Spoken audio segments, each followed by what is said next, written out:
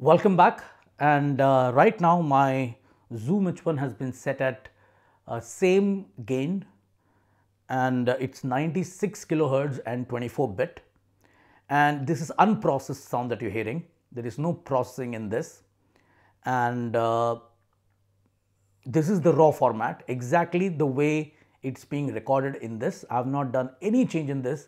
I have not even removed the background noise. So, whatever background noise that you're going to hear, you will hear the common in all of them and you can yourself see how the formats differ.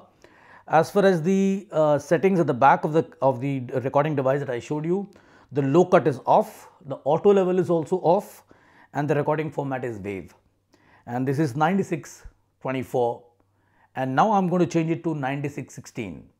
So, let us come back with that.